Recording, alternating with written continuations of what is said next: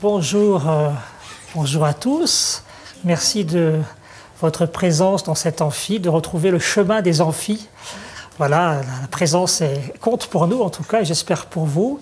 Merci euh, infiniment, Claude Éric Baratet, d'être euh, venu jusqu'à nous à Grenoble pour nous parler euh, de l'histoire des animaux. Vous êtes professeur d'histoire donc à Lyon 3, membre de l'Institut universitaire de France et, un pionnier, une référence dans le domaine de l'histoire et des relations entre les, humains et les animaux. Vous avez une longue bibliographie, hein, donc je vous invite à la découvrir sur des sujets très, très vastes autour justement des relations entre les humains et les animaux du point de vue animal et humain, avec l'introduction effectivement de l'idée que les animaux ont une biographie et qu'il est intéressant de, de prendre leur point de vue pour comprendre nos relations et nos relations sur le long terme. Voilà.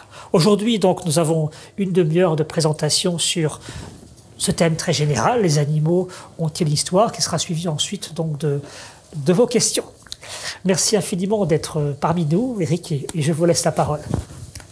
Merci de cette euh, invitation et je vais donc essayer de vous présenter euh, euh, finalement cette problématique. Les animaux ont-ils leur histoire? Oui, on peut le dire maintenant, mais ce n'est pas si évident que ça. Longtemps, on, on, on ne l'a pas cru. Alors, D'abord, le, thème des animaux, c'est un thème qui a progressivement émergé. Euh, vous voyez là, par exemple, la production historique en France euh, tout le long du XXe siècle, avec des livres et des ouvrages et des articles consacrés aux animaux. Eh bien, il faut attendre les années 70 pour que ça décolle vraiment. Et ça n'est pas un hasard. Hein. Les années 70, bah, c'est le début de l'écologie, c'est le ministère de l'Environnement, c'est la première loi de protection de la nature, premier candidat écologiste, etc. Bref, on est tout à fait dans un contexte particulier qui montre d'ailleurs que les universitaires ne sont pas, ne vivent pas dans leur bulle. Ce sont des hommes de leur temps, et là, ils, arrivent à un sujet à peu près, à peu près comme la société commence aussi à le faire. Alors depuis, ce thème a beaucoup, s'est beaucoup beaucoup développé. Hein. À l'époque, c'était, ça paraissait quand même très marginal. Maintenant, c'est relativement bien, c'est bien admis. Il y a, plus de problème. Et ça concerne maintenant toutes les disciplines. Il n'y a pas que l'histoire, mais la géographie, la psychologie, la, la, la sociologie, l'anthropologie. Toutes les sciences humaines s'intéressent aux animaux maintenant. Et puis, il y a évidemment toutes les sciences dites de la nature euh, qui continuent à s'intéresser à ces animaux. Alors du côté de l'histoire, euh, le début a été marqué, on peut dire, par ce livre hein, de Robert Delors, un médiéviste, euh, qui a publié en 1984 ce livre qui apparaît un peu comme un traité de la méthode, hein, Les animaux ont une histoire, où il essaye de montrer avec quels documents on peut s'intéresser aux animaux et comment on peut le faire, avec quelle méthode, etc. Et il finit son livre avec toute une série de cas, les abeilles, l'éléphant, etc., pour montrer ce qu'il est possible de faire. Alors, à l'époque, il me proposait essentiellement ce que j'appelle maintenant une histoire humaine des animaux, c'est-à-dire la manière dont les humains pensent, se représentent les animaux, les, les utilisent, les traitent, etc.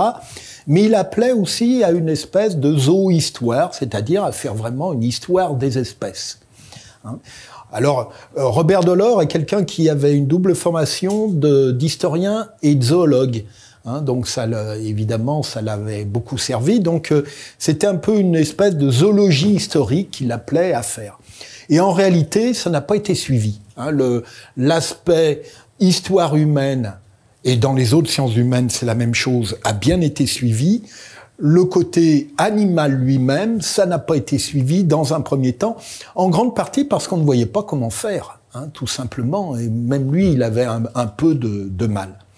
Et ce qui fait que euh, entre les années 80 et les années 2010, et encore maintenant, ça continue à se produire, et c'est pas du tout, euh, ça n'a rien de péjoratif dans la bouche, hein, euh, c'est très bien. on a surtout donc une histoire culturelle des animaux, c'est-à-dire la manière dont les hommes pensent, représentent les animaux, et donc comment ça détermine leur manière d'agir vis-à-vis de ces animaux. Et vous voyez, je vous ai mis deux livres, on trouve ça aussi bien dans les pays anglo-saxons qu'en euh, France. Entre parenthèses, la France n'est pas du tout en retard. Alors ça, je vois ça maintenant de la part des jeunes chercheurs. Euh, c'est le tropisme anglo-saxon. La France est en retard. Ça a été d'abord les anglo-saxons. Non, c'est pas vrai. Le, le, premier livre à faire vraiment un traité de la méthode, c'est celui de Robert Delors.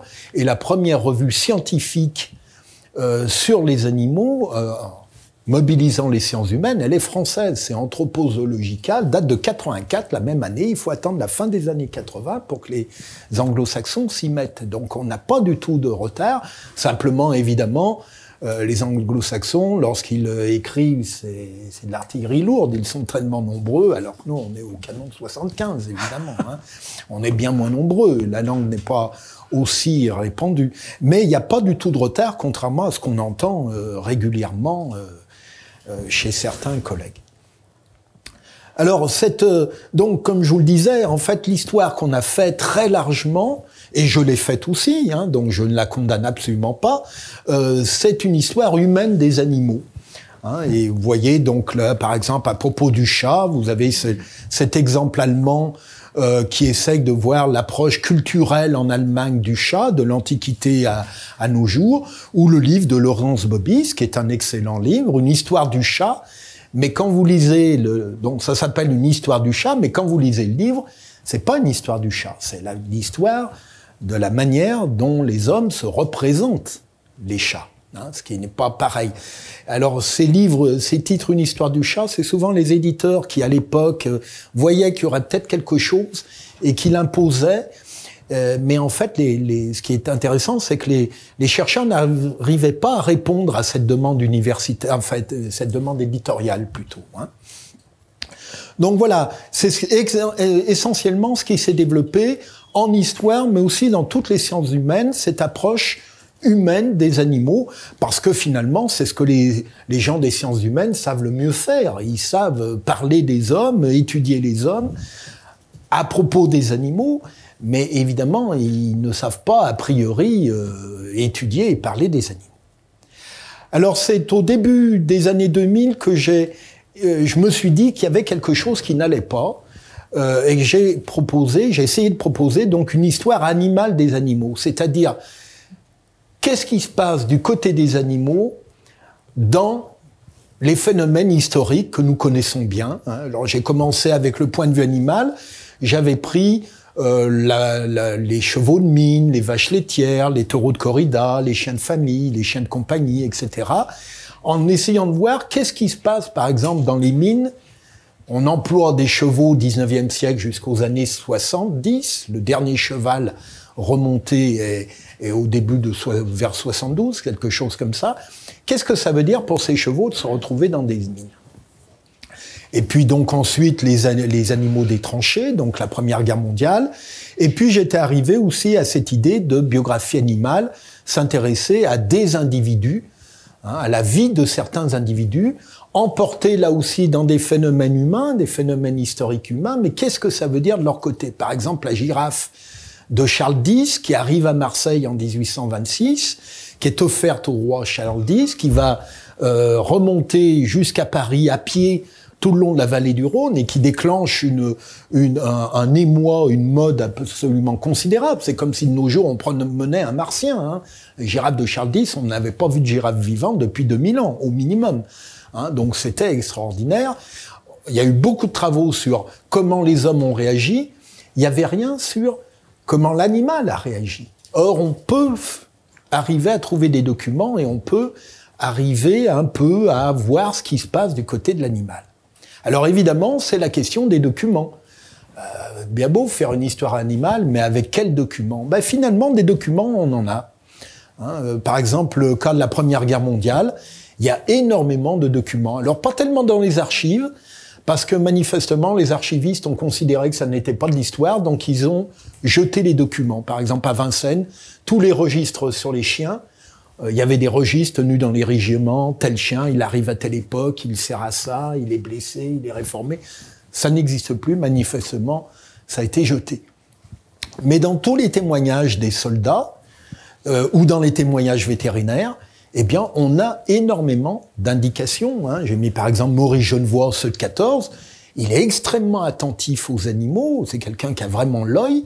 Et il donne quantité d'informations dans cet ouvrage. Hein. Des choses extrêmement justes euh, que l'on peut vérifier en recourant à l'éthologie euh, actuelle. Hein. Et puis il y a toute la littérature vétérinaire. Sur la girafe de Charles X, vous avez par exemple un naturaliste qui fait marseillais, totalement inconnu, qui fait un rapport. Le muséum de Paris croit que cette girafe ne va pas euh, vivre longtemps. Il a peur qu'elle meure avant d'arriver à Paris, donc on demande à ce naturaliste de faire un rapport à Marseille. Il fait un rapport qui est étonnant, qui est extrêmement intéressant parce qu'il n'a aucune référence.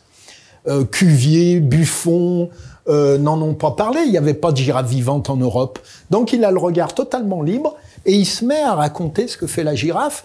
Et en contrôlant avec l'éthologie actuelle, on arrive à, comprendre ce qui se passe à peu près, hein, à peut-être 30-40%, mais c'est toujours mieux que rien, ce qui se passe du côté de ces euh, animaux.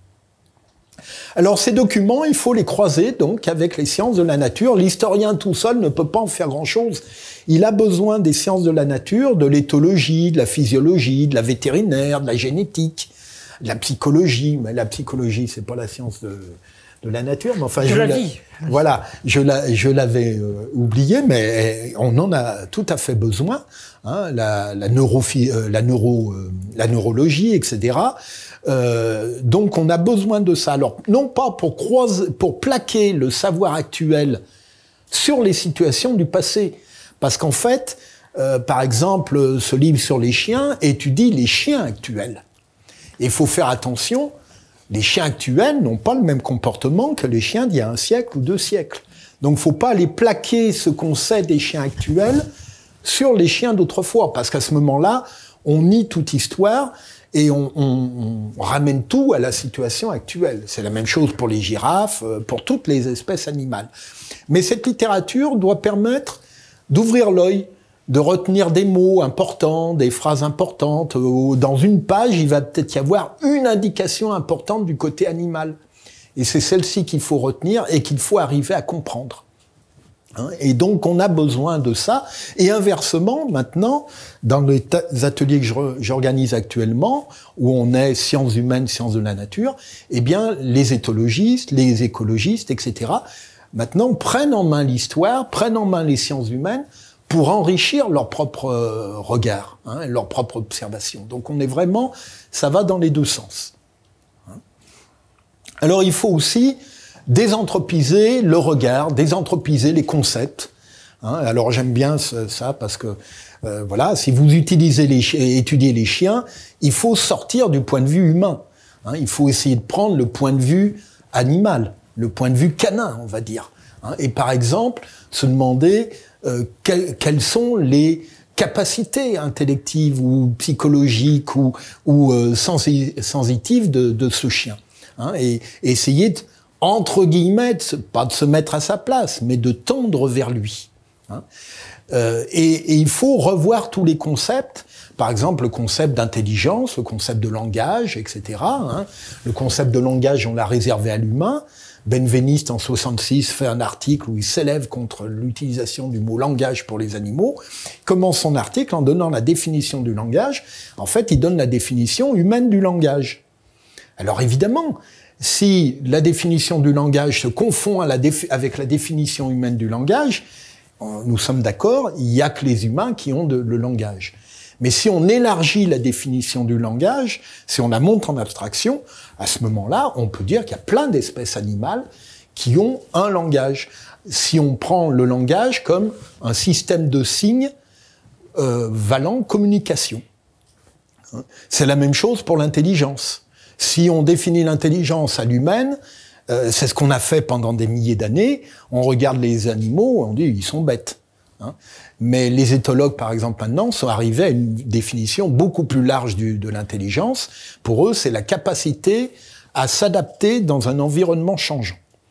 Bah, si c'est ça la définition de l'intelligence, bah, à peu près toutes les espèces euh, euh, animales sont intelligentes à leur manière. Hein. Chacune a sa forme d'intelligence. Et là, c'est un point important, il faut vraiment changer de représentation du monde. Nous vivons depuis 2000 ans depuis les philosophes grecs sur cette représentation pyramidale du monde avec l'homme au sommet, hein, puis les animaux euh, avec ces étages de plus en plus on descend vers des animaux jugés inférieurs et puis rudimentaires, et puis j'aurais pu continuer la pyramide euh, et, et, mettre les végétaux euh, dessous. Hein. Et qu'est-ce qu'on fait avec cette pyramide? Eh bien, comme on considère que c'est l'homme qui incarne le mieux, qui, euh, comment dire, les, les, capacités dans leur euh, plus grande plénitude, l'intelligence, le langage, la raison, etc., on définit effectivement l'intelligence, le langage, la raison au niveau de l'humain. Puis ensuite, on regarde dans les étages en dessous si ça existe aussi. Ben évidemment, on répond non. Hein, il n'y a pas de langage chez les animaux. On a longtemps dit qu'il n'y avait pas d'intelligence, etc., etc., parce que on avait justement tout configuré à l'aune de l'homme, avec la hein, je mets toujours cette figure de Léonard Vinci. L'homme est la mesure du monde. Donc, si l'homme est la mesure du monde, évidemment, on est dans ce schéma pyramidal qui reste encore très enquisté chez nous. Hein. Beaucoup d'éthologues ont encore beaucoup de mal à, en sortir, mais dans les sciences humaines aussi. Par exemple, on, a inventé il y a quelque temps le terme de sentience. Hein, pour parler des animaux euh, sensibles et ayant une certaine conscience, etc. Mais ce terme de sentience, il ne se comprend que si on est dans cette vision pyramidale. C'est pour les animaux qui sont en dessous du niveau de l'homme. C'est pas pour les rudimentaires, c'est pour les tâches du milieu, on dira, hein, le niveau du milieu. Mais donc c'est très intéressant de voir des gens qui sont très favorables aux animaux, reste dans cette vision pyramidale. Une vision pyramidale qui est une vision philosophique qui nous a été transmise par le christianisme ensuite, qui s'est infusée dans la philosophie occidentale, dans la science occidentale, qui nous est devenue tout à fait normale. Mais il n'y a jamais de preuve, elle n'a jamais été prouvée. Cette... Euh, et en fait, la vision qui semble beaucoup plus euh, proche de la réalité, elle nous est proposée par la génétique, c'est le schéma à côté, c'est le schéma du buisson, hein, où à partir du centre, à partir du dernier ancêtre universel commun, bah, toutes les espèces sont parties et ont évolué à leur manière dans tous les sens. Et voyez, vous avez l'homme, hein, vous avez en rouge le trajet de l'homme, mais vous voyez que cet homme a son trajet original, riche. Il ne s'agit pas du tout de nier le propre de l'homme et l'originalité de l'homme, mais exactement comme le cheval, le chien ont eu aussi leur propre trajet original et riche. Et l'intérêt de ce schéma, c'est de ce schéma, c'est de justement de pas vouloir hiérarchiser et se dire que chaque espèce est intéressante, chaque espèce a sa richesse. Hein, et ça va de des hommes euh, aux animaux, aux plantes, jusqu'aux virus, aux microbes. Hein. Frère Covid, il est euh, est là-bas de l'autre côté. Hein. Euh, voilà. Le, cas de figure le plus intéressant, c'est le blob. Ce, cet organisme extrêmement rudimentaire qui a des capacités tout à fait étonnantes. Si on est dans le schéma pyramidal, on, on comprend pas. Il il devrait pas. Il est en dessous, tout en bas, avec des capacités du haut. On comprend rien. Si on est dans le schéma buissonnant, on comprend très bien, c'est une branche originale qui s'est développée de cette manière-là et qui montre que on n'a pas cette euh, la rude, le côté entre guillemets rudimentaire du développement euh, apparent biologique euh, n'empêche pas des capacités. Hein. Alors, je vous disais, il faut croiser avec les sciences de la nature les sciences de la vie. Il faut croiser aussi avec les sciences humaines. Euh, parce que les sciences humaines arrivent aussi aux, animaux. Hein. Euh, vous avez par exemple le travail de Marion Vicard sur les, chiens, ou alors le travail d'Eduardo Cohn qui s'est intéressé aux, aux, forêts et euh, avec un sous-titre que je trouve tout à fait très bon, vers une anthropologie au-delà de l'humain. Hein. Ouvrir l'anthropologie au-delà de l'humain, parce que vous avez toute une série d'espèces très riche, très original, avec des capacités importantes. Or, ces sciences humaines sont habituées à étudier des êtres aux capacités importantes. C'était les humains. Mais à partir du moment où on, comprend qu'un chien, un cheval, etc., a lui aussi des capacités importantes à sa manière, il ne s'agit pas de comparer avec l'humain, eh bien, on peut à ce moment-là aller chercher les méthodes, les concepts sociologiques, anthropologiques, psychologiques, etc., et les appliquer aux euh, animaux. Et donc l'idée, ça serait de d'une espèce d'alliance entre, alors pour simplifier, j'ai mis éthologie et les sciences de la nature qui vont avec, l'ethnologie, l'anthropologie, la sociologie, l'histoire et puis les autres sciences du passé, pour construire finalement une ethnologie historique, hein, avec ce N entre parenthèses, pour montrer l'alliance sciences de la nature, sciences ou sciences de la vie et sciences euh, euh, humaines, hein, et des sciences humaines au-delà de l'humain, hein, qui prêtent leurs concepts, leurs méthodes, leurs grilles d'analyse pour au-delà de l'humain. Alors, quoi faire avec ça? Bah, Les buts euh, concrets, bah, c'est par exemple restituer des vécus. Hein. Je vous parlais de la Première Guerre mondiale. Qu'est-ce que ça veut dire, par exemple, pour un chien belge de se retrouver dans un attelage d'artillerie de, mitrailleuses lourdes, hein, à tirer des mitrailleuses lourdes. Ça a été l'échec total. Dès, août 14, euh, l'échec total, les Allemands ont totalement décimé ces brigades. Euh, on en parlera, je vous dirai peut-être au moment des questions. On comprend pourquoi ça n'est pas l'échec, on le comprend quand on se place du côté. Pourquoi ça a été un échec quand on se place du côté des chiens. Si on se place pas du côté des chiens, on ne comprend pas l'échec. Hein. Mais ça a été l'échec total. Ou alors le, vécu des chevaux, hein, ces chevaux qui vont jusqu'au bout de leur force. Les chevaux, comme les ânes ou les mulets, ne montent pas trop leur, leur problème. Ils vont jusqu'au bout. Et lorsqu'ils sont épuisés, bah, ils n'ont que deux solutions. Soit ils s'arrêtent, et les gens de l'époque le savent. Un cheval qui s'arrête, vous n'avez plus qu'à le mettre dans le fossé, il va mourir sur place. Ou alors, crise cardiaque, dans l'attelage, c'est ce que vous avez ici. Hein. Là, ce sont pas des chevaux, ce sont des mules, mais c'est la, même chose. Donc, qu'est-ce que ça veut dire pour ces chevaux de vivre euh, cette guerre? Et ça peut être euh, d'autres moments euh, historiques.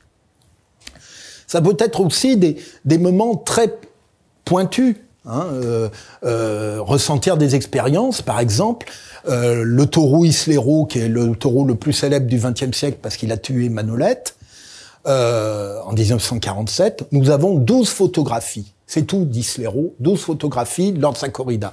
On ne sait rien de lui avant, enfin, son éleveur savait, mais il a rien, il a rien laissé en archive. 12 photographies. Avec ces 12 photographies, ce qu'on sait de l'histoire de la corrida et ce qu'on sait de l'éthologie bovine, eh bien, on arrive à comprendre ce qui s'est passé dans cette corrida et on arrive à comprendre notamment pourquoi Manolette a été tué. Mais ça, on ne le comprend que si on passe du côté du taureau. Hein. et on reconstitue la corrida du taureau. Autre exemple, c'est Modestine, hein, Modestine qui se promène une quinzaine de jours avec Stevenson dans le voyage au, le célèbre voyage dans les Cévennes. Eh bien, euh, Stevenson euh, écrit plusieurs textes. Il raconte il, parle surtout de lui, il parle surtout de ce qu'il voit, mais il parle quand même suffisamment de Modestine. En la comprenant, en la comprenant pas, c'est très variable, mais c'est à nous justement de d'essayer de, trier tout ça. On arrive à voir là aussi ce qui se passe du côté de Modestine, et on arrive à voir les compréhensions de les moments où Stevenson comprend Modestine, mais il n'a pas envie d'en tenir compte, où il la comprend, il en tient compte, où il ne voit rien, il ne comprend pas. Hein. il y a toute une série de cas de figure qu'on arrive bien à voir à travers son récit et qui montre à quel point une relation est complexe hein, et, varie beaucoup aussi dans le temps. Reconstituer des existences, hein, je vous en ai parlé, c'est la girafe de 1827, la girafe de, Charles X, qui, le seul tableau exact, c'est celui-ci, euh, d'un peintre euh, qui a pris ça dans la région de Beaune lorsque l'équipage, euh, tout le cortège, coupe par le Morvan pour passer par un bassin parisien où il y a moins de monde, plutôt que passer par Dijon, parce que la girafe est fatiguée de, de, du public qui s'amasse. Et euh, vous voyez, avec les vaches devant, parce que cette girafe ne boit que du lait tiède, euh, ça aussi, je pourrais vous expliquer au moment des, des, questions. Et ces vaches, là aussi, le texte de Salz que vous avez à côté, hein, observation euh, sur la girafe, eh bien, ce texte montre bien à quel point ces, vaches vont avoir un rôle extrêmement important, d'un espèce de, rôle de tampon émotionnel, hein, de coussin émotionnel pour cette girafe, et elles vont être extrêmement importantes pour qu'elle survive. Elle survit quand même jusqu'en 1845. Alors que les deux autres girafes envoyées par le pacha d'Égypte au même moment, l'une en Angleterre et l'autre en Autriche, meurent durant le voyage. Elle, elle tient, mais elle tient parce qu'elle est tout à fait particulière, elle a un tempérament particulier, et puis elle se retrouve dans des circonstances particulières. Alors on peut aller même plus loin dans cette histoire, on peut essayer d'appréhender des époques animales. Hein, alors le cas des chimpanzés en Occident, les chimpanzés en Occident entre 1850 et 1950, qui sont amenés en Occident et pour lesquels on, développe un espèce de programme d'humanisation. Hein, exactement, on est en parallèle avec la colonisation, comme on colonise les autres territoires et on veut civiliser les autres territoires, européaniser les populations euh, de ces territoires-là, eh bien, on veut humaniser certaines espèces, et notamment les chimpanzés, et même les occidentaliser. Vous voyez Consul là à gauche dans son costume de, gentleman, ou alors Méchi hein, dans cette famille américaine qui fait du tricycle avec tout le monde. Alors là aussi, on a des témoignages. Euh, de bons témoignages. C'est pas le cas pour tous les animaux. Il faut trouver les bons témoignages. On ne peut pas parler de tous les animaux parce qu'il y a souvent de mauvais témoignages. Mais si on a de bons témoignages, eh bien, on arrive bien à voir ce qui se passe. Par exemple, chez Consul, qui arrive à comprendre comment il est dans un zoo, zoo de Manchester, comment arriver à se procurer un degré de liberté qui lui permet de mieux vivre. Hein. Et donc, il collabore avec les humains. Ça lui permet, par exemple, de pouvoir sortir tous les jours de la, cage, d'aller se promener dans le, parc. Son plus grand plaisir, c'est de jeter la cacahuète au singe. Il hein, n'y a, rien, de mieux. Mais il peut aussi aller au restaurant, au pub, il fume la pipe avec du thé, il le journal, enfin à l'envers. Mais il veut faire comme tout le monde. Et il ne veut surtout pas le soir rentrer dans sa, dans sa cage. Et on voit bien là, là aussi, tempérament exceptionnel. La plupart des chimpanzés à l'époque euh, périssent au bout d'un an parce qu'ils tombent en, dépression. Hein. Lui, il est tout à fait particulier, mais on voit bien comment se fait euh, cette vie. Et là, on a une espèce d'époque qui dure à peu près un siècle, où on a toute une série de chimpanzés amenés en Occident qui vivent cette vie-là d'humanisation et qui se font cette petite euh, niche qui leur permet de, tenir finalement. Hein. On peut aussi, autre phénomène historique, penser les générations et l'évolution des comportements génération après génération. On peut faire ça pour les chiens, par exemple partir des cas de Bummer et Lazarus, euh, deux chiens très célèbres à San Francisco euh, dans les années 1860. On a plein d'articles de journaux sur eux et qui nous permettent de retracer la vie de ces, le mode de vie de ces chiens errants et comment, à partir de ces chiens errants, qui sont les chiens majoritaires en Occident jusqu'au 19e siècle, hein, eh on est arrivé au 20e siècle à avoir des chiens majoritairement de compagnie. Il y a eu un retournement de conditions complète. Et comment ce retournement de chien errant majoritaire à chien de compagnie majoritaire a entraîné un changement de comportement de la part des chiens, mais aussi de la part des humains. Hein, humains et chiens se montrent de plus en plus proches les uns avec les autres, et donc se comprennent, de mieux en mieux. Et on peut aussi euh, alors c'est l'objet du dernier livre que j'ai publié, montrer l'histoire des cultures animales. Alors culture animale, là aussi le terme de culture, évidemment, il faut le désanthropiser. Hein, il faut élargir le concept. Si culture, c'est lire Proust et euh, écouter Bach, évidemment, il n'y a pas de culture, c'est chez les, chez, les, chez les chats, par exemple. Hein. Mais si on élargit le terme de culture, et les anthropologues l'ont fait, pour pouvoir aller voir d'autres civilisations humaines, ils ont élargi le terme de culture. Eh bien, en reprenant leur élargissement, si, le, si on prend le terme de culture comme manière de vivre, manière de faire, manière de se comporter, eh bien, on peut voir une histoire des comportements, par exemple des chats, qui eux aussi changent avec le temps, et donc une histoire de ces cultures euh, animales. Et donc tout ça, finalement, pour finir sur quoi? Ben, Une histoire des espèces, hein, une ethnologie historique des espèces, euh, domestique ou sauvage. Alors c'est vrai que domestique, ça nous est pour l'instant plus facile parce qu'on a des documents humains pour arriver à, mais après on peut faire, on va pouvoir faire sauvage, je vais vous dire pourquoi. Et donc l'idée c'est de faire une histoire de ces espèces euh, en gros, par exemple, de, l'Antiquité à nos jours, ou depuis la domestication jusqu'à nos jours, ce sont des, des, animaux domestiques. Et on peut le faire avec des éthologues, avec des généticiens, les paléogénéticiens, par exemple Ludovic Orlando, qui travaille beaucoup sur les chevaux, euh, qui a découvert récemment, il a publié un article là cet automne où ils ont trouvé le lieu de première, enfin non, le lieu de domestication de nos chevaux actuels. Hein, qui sortent tous du Caucase, mais nos chevaux actuels, ce ne sont pas les premiers chevaux domestiqués. Les premiers chevaux domestiqués, ce sont les actuels chevaux de Przewalski.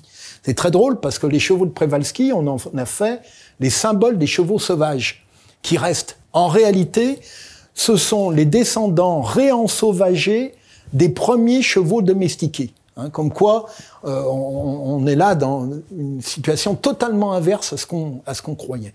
Mais donc, on peut faire tout à fait cette espèce, cette histoire des espèces. C'est une histoire à faire, évidemment, hein, et, à montrer que finalement, les animaux aussi ont une histoire. Alors ça, c'est quelque chose qui a été toujours nié.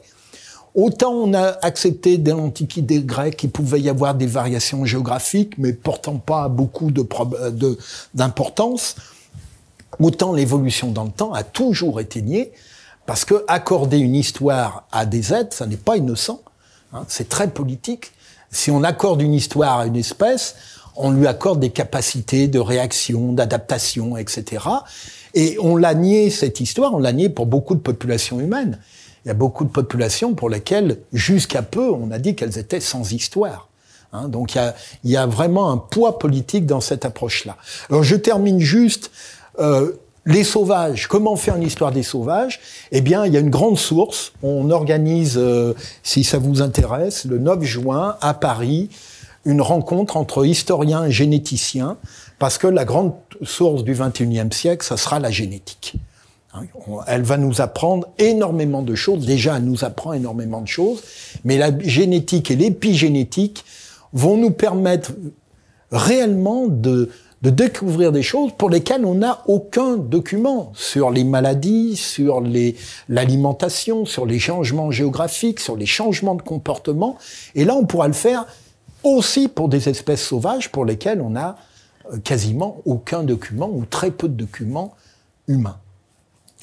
Voilà donc ce programme qui est en cours, vous voyez, qui a commencé une dizaine d'années, qui est en cours, qui, qui peut se développer. Alors je termine quand même. Euh, il y a il faudrait faire la même chose maintenant, je l'ai proposé, je vais sans doute m'y mettre, euh, même chose pour les végétaux. Hein, Puisqu'il y a une grosse histoire, une grosse anthropologie des végétaux, avec une approche du côté humain, mais maintenant, il y a une neurophysiologie des plantes qui se développe, qui est extrêmement importante, et qui montre qu'on pourrait essayer là aussi se demander qu'est-ce que ça veut dire pour une plante d'être emportée dans tel ou tel phénomène historique, euh, euh, comme une guerre par exemple, la Première Guerre mondiale là aussi, qu'est-ce que ça veut dire pour une plante de se retrouver en pleine Première Guerre mondiale, ou dans les transports maritimes à partir du XVIe siècle, avec une très forte mortalité, on peut se poser le, le même problème. Et, et, je pense que là aussi, du côté des végétaux, il y a beaucoup à aller euh, chercher. Voilà. J'espère que j'ai pas trop dépassé. Je vous remercie de votre attention. Merci. Beaucoup de choses, en tout cas, autour de cette histoire des animaux par les animaux. J'imagine euh, beaucoup de questions. La parole, en tout cas, est à la salle.